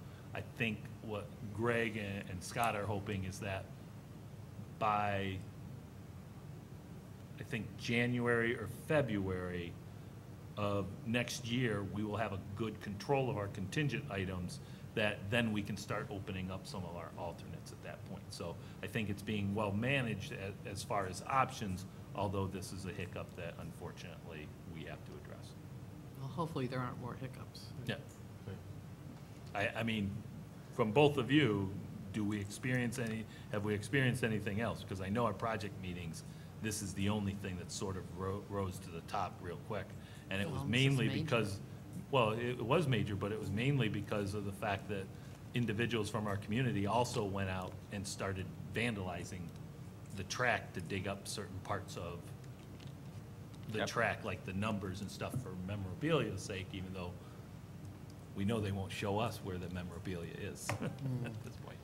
We have a number of, um, they call them RFIs, requests for information that we get from contractors. They're looking for clarification on the documents, and this is how I weigh really how good our designers have done by, by these numbers, and if there are um, any items that are unclear, um, or any ones that, that were so not clear that it's going to cost us money because, well, you, you didn't tell them to do this or do that. So uh, we've been okay um, up to now uh, answering them. Um, We have uh, one that we're working on right now regarding some coping stones at um, Slingerlands, uh, which we all feel that we're rather strong on, and we're meeting with GC tomorrow to give them that view. Um, Other than that, um, and, and this is one of the big things, these RFIs are how, I mean, it's part of the business. This is where they I don't mean this in any derogatory way to the companies that we're working with, but this is how they make their money too. If, if they can argue that something's not clear, there's always a cost to it. The job of the CM, the job of the architect, and the job of Greg is to argue whether it was clear or not, this would be a normal expectation. In other words, if you're taking off coping stones, you have to put them back. That's sort of understood. It's not just take them off and leave it there. I have a question. So, um, is Ashley McGraw at all, I don't want to use the word liable, but do they contribute anything to that oversight? Given it's unclear whether this was an oversight, it sounds like it was fairly clear from the district that the, the, I don't forget what the term you used, but the re- retreading or the, you know, more expanded option was what was expected. Um, Is there any um, contribution from the architect, given that the situation now was just, the expectation was, the cost was based on the painting and not the, Yeah, that- that's a discussion, we'll have to have a discussion between CM, the, I like it, the OACM team. Owner, architect, construction manager. Thank you. And what about the um, proposal or drawings, or whatever, that were submitted to SED? Did they call for refurbishing or the painting? They just called for the paint. Uh, the- The drawings that were submitted to SED is Are basically what the contractors got, so didn't know if there was it just further- calls for a repainting of the surface, not the milling of that, that rubbery Okay. surface. Right. I didn't know if there was more verbiage. It might have been in some further document that we say They've- this is what the expectation is or not. E- Even though in one of those documents, they have to break the track, correct? Um, I, no, we were able to use existing lines that we put in in the last construction, so I But believe I that thought we, you guys said that we were going to have to break the track at one point, no matter what. to get the water line through, yeah. I think we were able to use existing empty conduits. I don't mean to use the term break, but that would Cut. be, Full depth, yeah. yes. Plus, we really didn't know how bad the track was until you just break it, or pulling it up a couple weeks ago, you can actually lift part of the rubber mat up. It's, it's broken as it's here to the asphalt. And again, it's, it's that rubbery mat. Structurally, okay, um, when we redid it in 2001, that was full depth, okay? So, so we went the full depth and we put in asphalt underneath it, and then we put on that rubbery surface, okay? That is still sound, okay? If you look at the track, the track is true. Um, And, and it's, it's, it's not structurally deficient in any way. It's, it's just this rubber that over time, like anything, yeah, you know, it compacts down and uh, it needs to be replenished. There's no sponge in it anymore, so. I do remember one of the track coaches coming and talking about how many kids had shin splints. I, I remember that discussion about the, They were saying because of the hardness. yeah. the Well, if you look, track- the track- lane one yeah. is, lane one's a lot different than the outside lanes because it gets used the most. Because everybody runs in lane one. Is it customary on these type of repairs that you normally do a renewing of a track? Like if you were to survey the, you know, ten schools that have had their tracks Yeah. resurfaced, is it customary that you would expect that, that remilling would be part of the contract? Um, For this age, yes. And that's why, you know, we were all surprised that it it was missed. Yeah, because normally what would happen is you would mill and put down a track, say new. Right. And then roughly about year six, year seven, Seven, you would resurface. Right. That would get you to, I believe, like year twelve to year fifteen, and then you'd have to redo it all. Right. There has been no maintenance to the track since, what, two thousand and one? Two thousand and two, when it Um, first went down. No substantial maintenance. I mean, we, we fill cracks and um, patch holes and, you know, uh, that type of stuff, but not to this magnitude. And obviously, the decision was made that it needed to be milled and done. So I, I I think that's really the only option left for I us to have do. no doubt in that as an administrator. I think we were saying that all along. Right. So just for my peace of mind, I, I don't like coming to the board in this way at all. I'm a, a big pre-planner. I like to plan, you know, I, I like to give people enough notice. Uh, but w- we are in a situation now that, um, uh, if we don't have approval, then we don't get it done this summer. It's questionable whether or not we can do it in the fall time. Um, I'm not even sure about schedule. We have um, the contractor, the specialty contractor that is already committed to do both tennis courts and the track, um, milling it down is, is, is not that big of a deal um, um, as far as added work goes. So he's already committed to the district, so um, I, I I would be very cautious about waiting till next summer. Um, So I, it would be my recommendation that, that- that we do move now on this. Yeah, Right, and I don't think we yeah. have to vote on it, because technically we already have Yeah, right. I mean, That's what we approved. Yep. Well, we the only do. vote Well, would be we'll, the- we'll approve it with a change order. that when you'll approve the change order for the purpose of remilling the track. Okay, right. If you do that tonight, we'll get the documents in line. And Yeah. So that you know, the cost will be roughly an additional twelve thousand dollars from our budget, but the full cost would be about a hundred and four, hundred and five. Do we have a Right. motion to, oh, yeah, further discussion? No, no, she Oh. moved it, and I said. Oh, okay, moved, uh, I didn't, I'm sorry, I missed that. First and a second, any further discussion? Oh, Ju- Just in terms of full disclosure, both my kids run track. Mhm. Just, just somebody's. Well, there are a lot of people that Yeah. I know, I just want people to know. keep Um, those snow blowers on. All in favor? Aye. Any opposed, any abstentions? That carries. And then Greg, if you can, within two weeks, I want a report in regards to this, to me. And then I'll drop, draft that to the board, or at least by the next board meeting. I've got to get to the bottom of why this wasn't, because honestly, we said it, I know you, I even had to question you in open session, because you said resurface, and we had to question that point. Uh, So if anybody needs re- recall, please tell them to visit www.bcsd Board of Education videos past. Because I, I don't even have to think about it. I know that discussion happened very clearly here. Thank you. Thank you. Thank you, Greg. At this point, um, the board would recognize any visitors uh, who ha- would like to address the board on any agenda items. Anyone here? No? Okay. Uh, Item number 13, Finance. It is recommended that the Board of Education approve the following finance action items A through J. So moved. That's a first and a second? Can I ask some questions? Yes.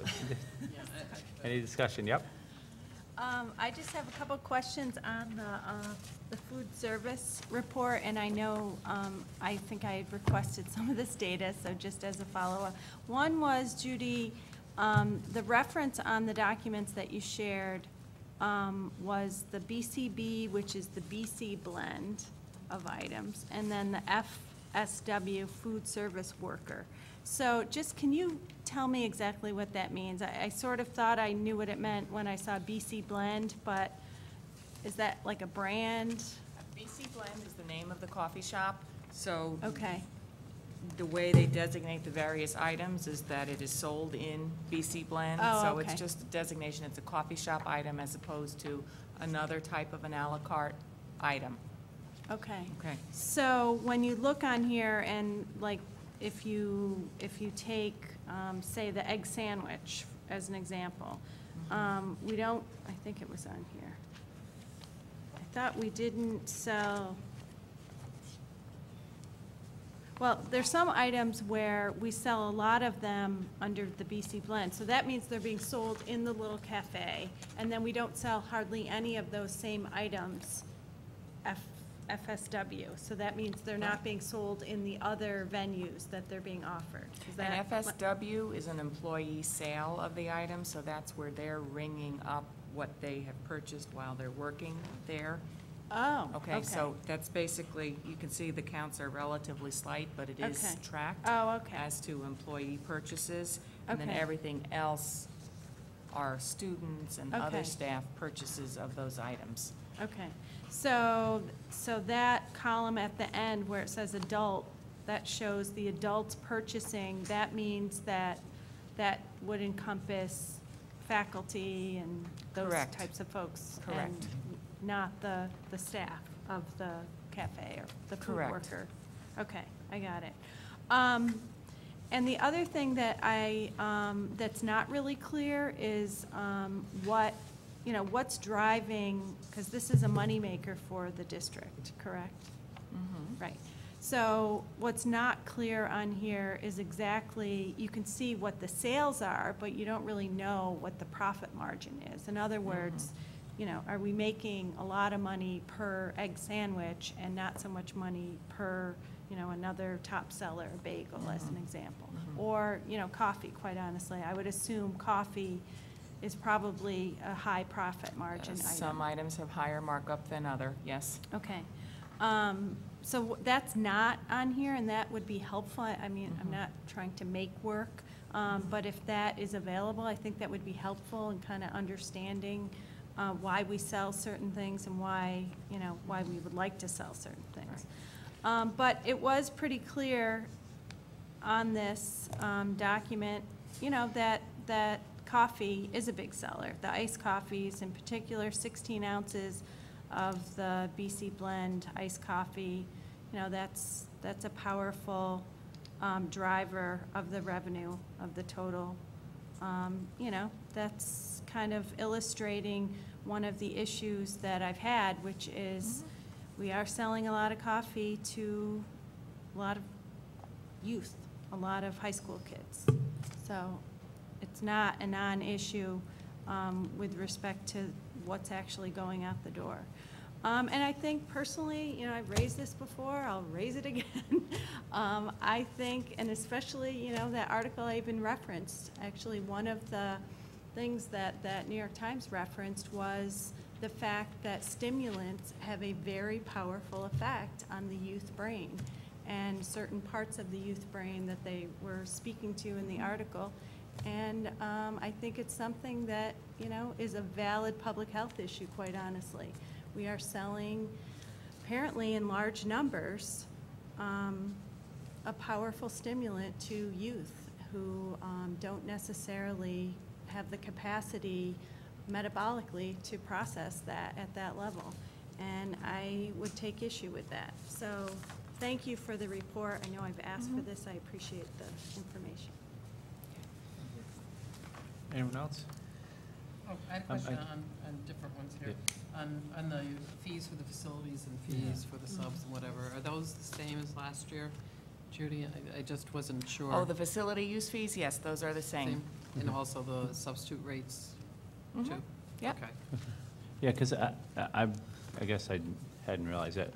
For any um, school organization, there is no facility fee, it's just they pay for, um, if we need to have custodians on Extra staff. or custodial extra- time, extra yes. time, Okay. Yes. So I was thinking there, wa- previously there had been, There were- there's never been any fees charged to those groups? No, they No, get to okay. use the Okay. district space, they get priority for that space, so. Those are like the Considered a PTAs and school-based things like that. program, yeah, Right. PTA organizations, yep.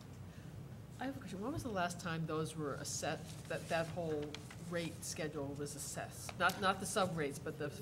The facility rental? Yes. Um, just recently, as a matter of fact, we used our internal auditor to do a study of how do we compare to other districts, and he had reported back to the audit committee that, in fact, we were within range, that the structure of the fees um, was easy enough for people to understand, but that it did a- an adequate job of raising the funds to cover the costs for those various rentals. Okay, thank So, The only other question, the minimum wage, what is that now? Isn't it more than eight dollars an hour?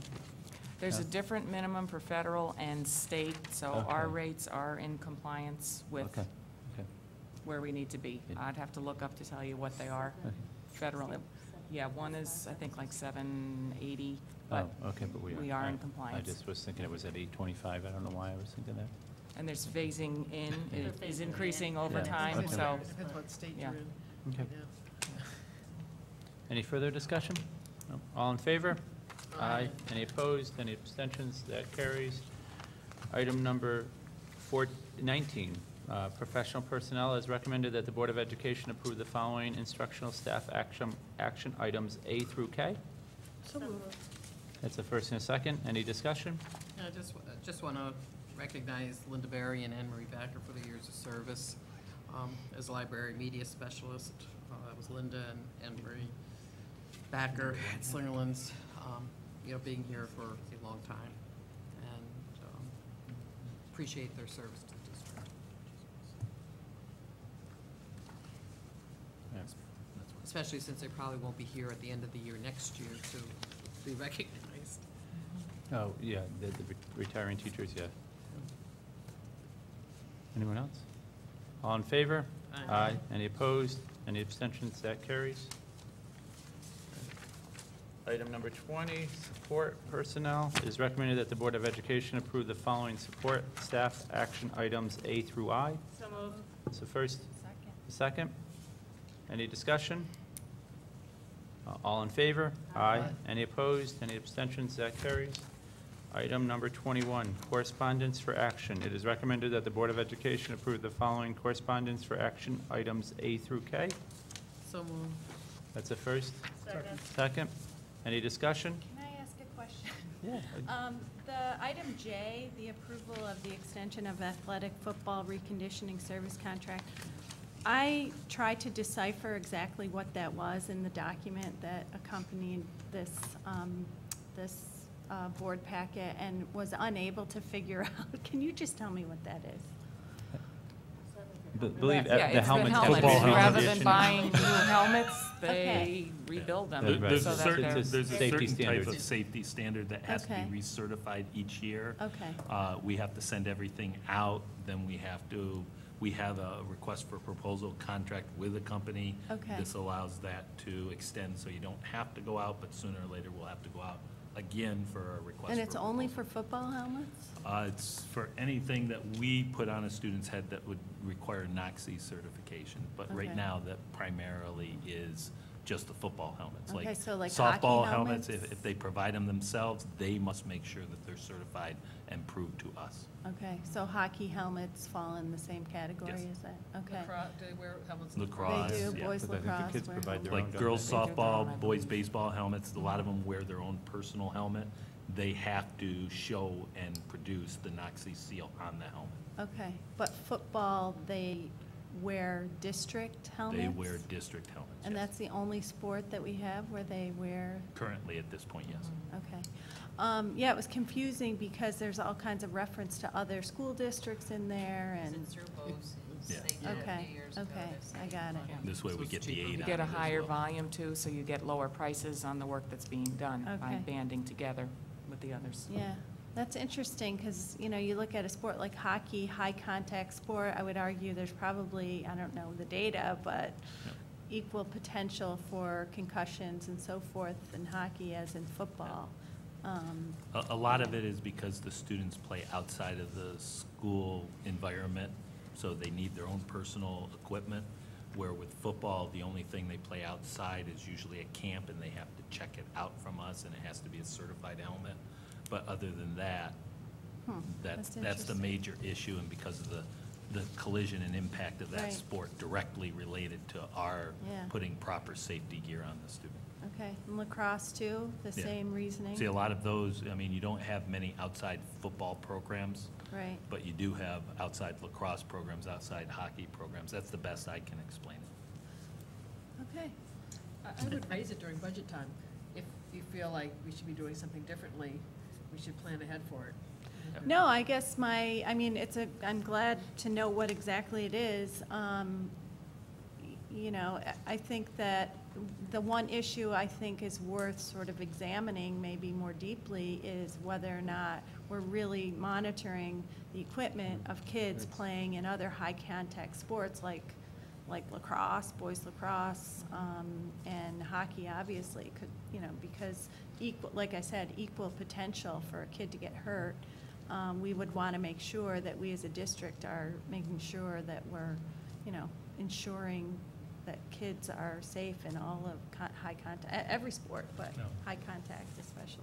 Most of the refs are pretty good, at least in, in hockey, with if there's a violation of the Yeah, neck guard no, or something. or the the But in mouth terms of the guard, helmet yeah. itself, there's really no. Yeah, I've never seen a hockey ref question someone's helmet, See, ever. see, like in every sport's different, like as Yeah. a, a baseball official, we're required to go over and say, line your helmets up and give them a pressure check. and Yeah, make they sure don't do there's no that in cracks. hockey. Yeah. So each So sport anyway. is, a- is unique. Any further discussion? Yeah, I have a question for Jody.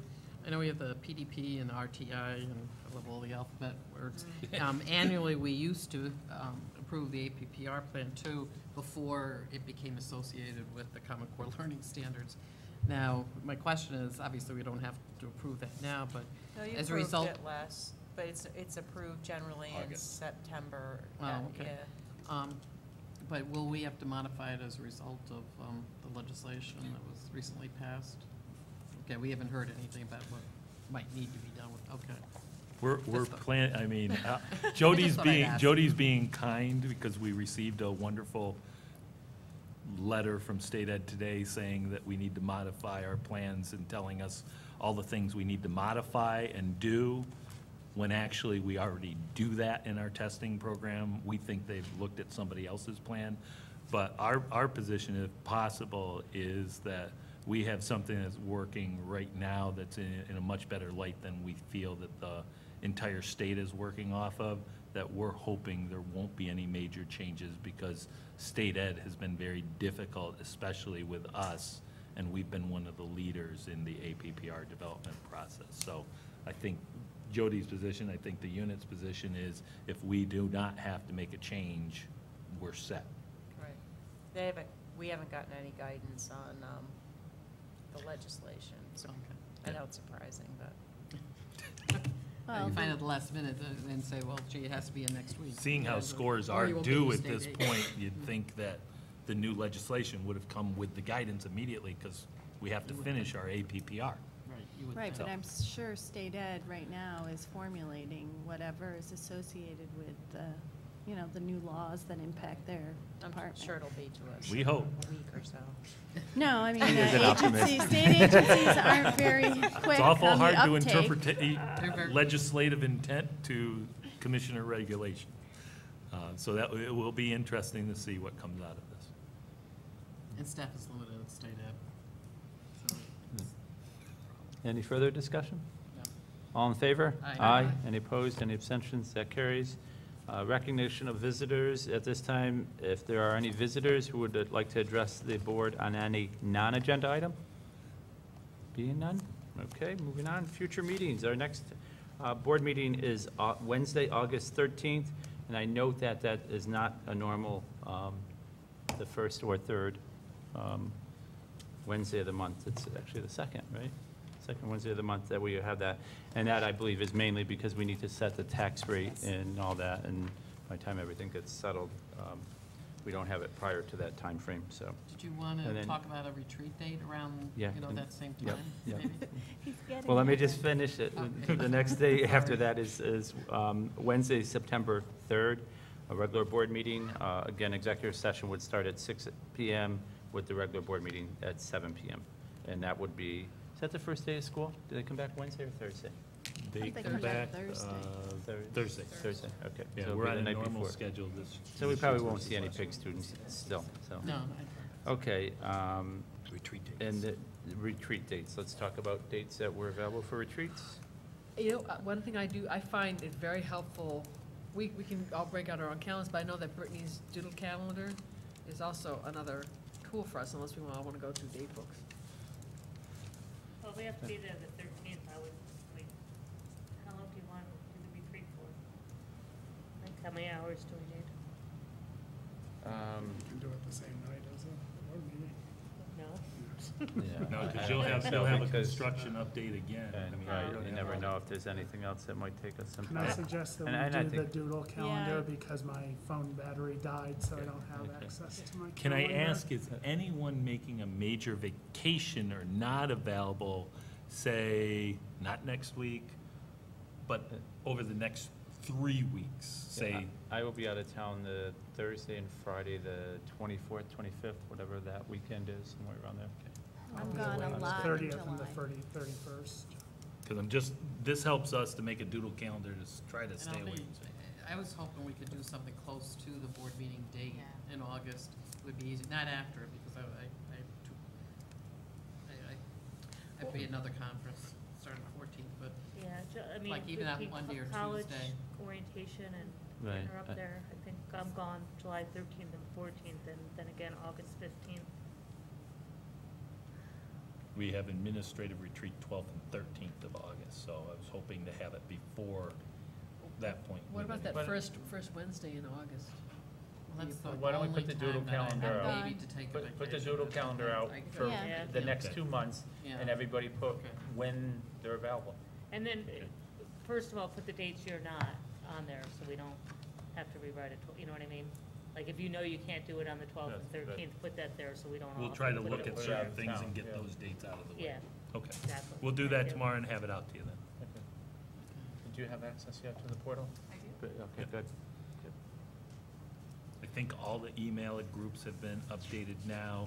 Uh, I would say whatever night we have the board retreat, say it's that first night, I don't know how you feel, or August thirteenth, whichever one, which is dress-up night, What? because you need to have a new board picture taken. No, let's do it at the board No. You meeting. just Photoshop? Do it at the board meeting. You do it in January or something, Well, no, we'll do it, we'll do it at the August board meeting. August, the, Really? the thirteenth?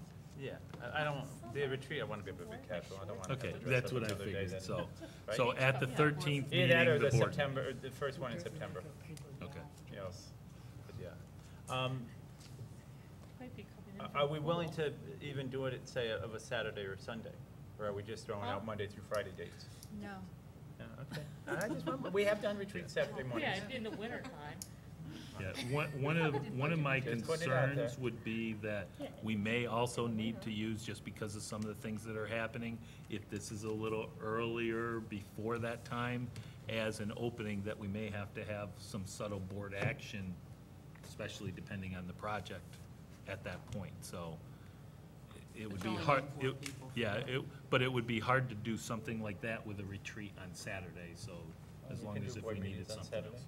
No, I know, but just the appearance for the Yeah, community. you- Uh, we've done it before, but in the winter, not in the summer. I thought we did put it a out lot, we used to do the budget ones. Yeah, but that was March, and, you know, not in the summer. Six AM Saturday morning, what's wrong with that? No. we could go for Right, and then we fruit go to the bike Y ride afterwards or something, you know? Your mom All would right, maybe I guess we have in. a, uh, we're done, Did no, you? no need to go Did into you? executive session? No, Like that? All right, uh, do I have a motion to adjourn? So moved. First and second, all in favor? Aye. We are adjourned, thank you.